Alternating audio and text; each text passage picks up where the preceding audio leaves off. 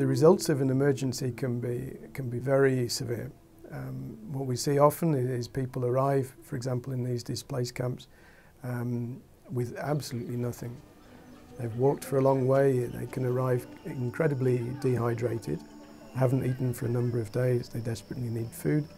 And then the other big one is shelter as well. Access to water becomes a, a, a life-threatening uh, problem. So it's vitally important that at that time there is the adequate resources to, to give them what they need. ما حصلنا الهرب يا أخونا أنينا حرقنا من مدى. من مدى خلاص أنينا مشيت الكلا وأنينا بيت فوق وخلاص أنينا جيت تاني. أنينا سايلين الأربوس والأولاد. أنينا نمشي خلاص. أنينا ذاته ما قاعد نأكل حاجة إلا بس نشرب الموية ونسيل العيال بس. The, the biggest problem for us is to keep up with the, the population of the camp. What we see in a lot of cases is that the camp starts at um, maybe a figure of 5,000, 10,000 people. We start doing the work based on those figures and the, the people keep coming.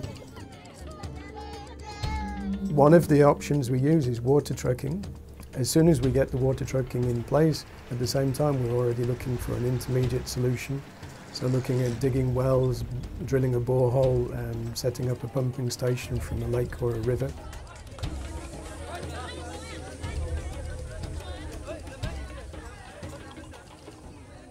It's always very important to involve the beneficiaries in the, in the design of whatever we do. It is quite surprising how quickly the, the camps uh, organise themselves.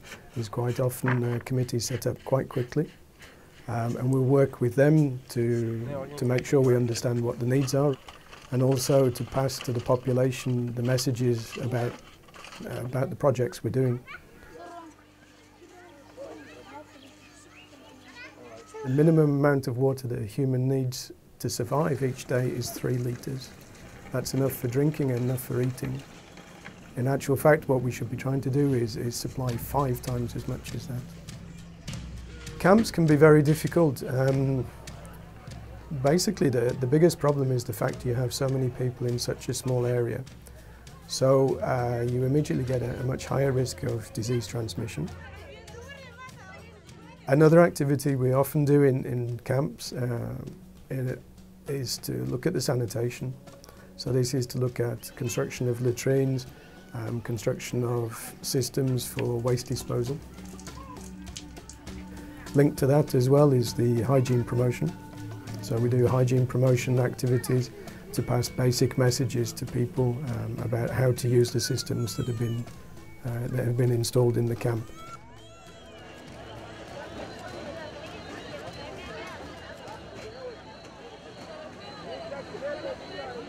We are trying to ensure that uh, the condition that the water is stored at the household level is safe, that uh, they are protected against mosquitoes, and blankets and uh, sleeping mats just to prevent as well uh, acute respiratory infections. We have a very extensive logistics setup. Um, so if there's an emergency, if we need to send materials or staff, we can react quickly. Another advantage we have is uh, the flexibility which is given to us by our donors.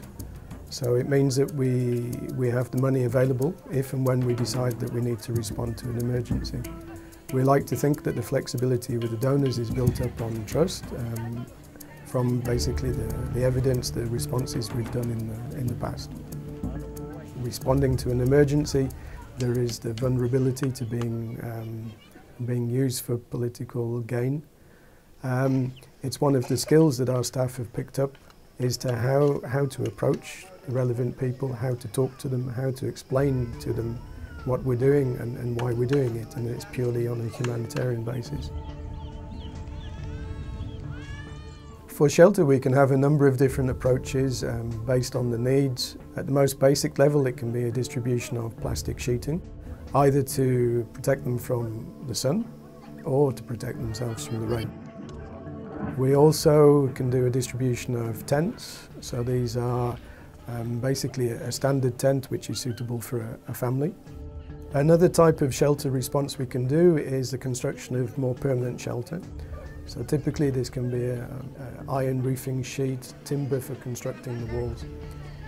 In this way they can have uh, a shelter which can be constructed quickly, but also it's materials that can be taken home at the end uh, when they return back to their, to their villages and used to perhaps uh, repair their shelters. The first time you respond to an emergency is very difficult, uh, but you learn an awful lot the first time. And after that, you build up a knowledge, you build up an awareness of what an emergency is about. And that helps the staff a lot in, in responding to, to future emergencies.